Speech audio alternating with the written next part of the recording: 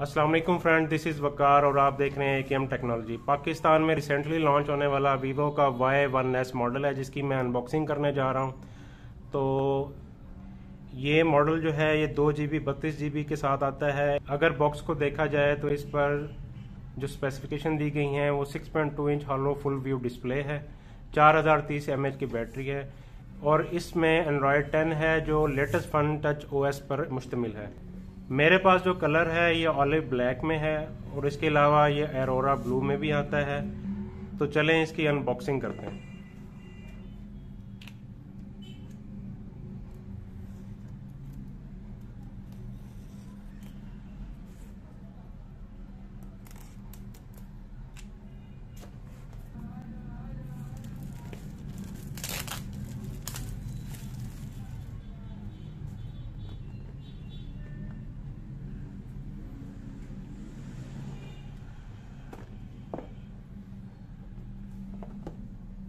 सबसे ऊपर इसमें एक लिट देखने को मिलती है, जिस पर वीवो मेंशन किया गया है। इसके अंदर देखते हैं। इसमें एक क्विक स्टार्ट गाइड है और एक वारंटी कार्ड है। इसके अलावा इसमें एक सिलिकॉन केस है, जो अच्छी प्रीमियम क्वालिटी का है।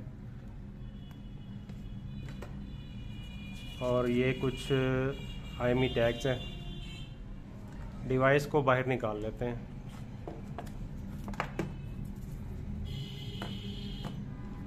इसके अलावा बॉक्स में देखते हैं क्या है। एक पावर ब्रिक देखने को मिलती है, जो कि दो अम्पेयर और 10 वाट के साथ आता है। और इसके अलावा इसमें एक U S B to micro U S USB cable है।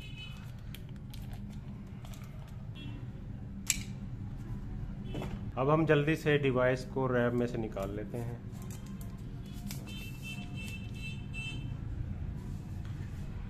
डिवाइस को ऑन कर लेते हैं। Device dual tone, dual shade colour में है, ऊपर ब्लैक है, नीचे थोड़ा फ्रोजी कलर है और थोड़ा ग्रीनिश शेड दे रहा है।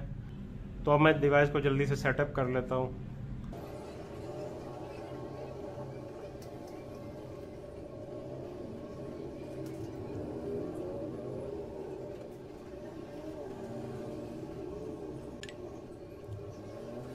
तो जी दोस्तों, मैंने अब डिवाइस को सेटअप कर लिया है। इसकी अगर सेटिंग में देखें तो सिस्टम मैनेजमेंट के अंदर अबाउट फ़ोन। इस मोबाइल फ़ोन के अंदर फन टच ओएस 10.5 है और एंड्रॉयड 10 पर बेस्ट करता है।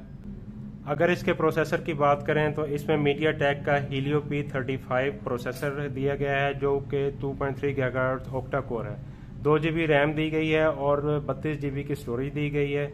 तो फ्रेंड्स अगर डिवाइस के डिस्प्ले की बात की जाए तो इसमें I P S L C D जो कि 6.22 इंच की है और ये 720 ज़रब 1520 पिक्सल पर मुश्तमिल डिस्प्ले है।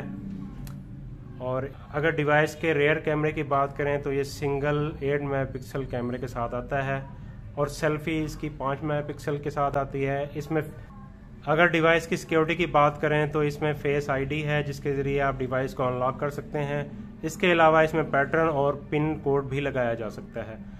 और फ्रेंड्स आज के लिए बस इतना ही। वकार को इजाज़त दीजिए दुआओं में याद रखिएगा। अल्लाह हाफिज।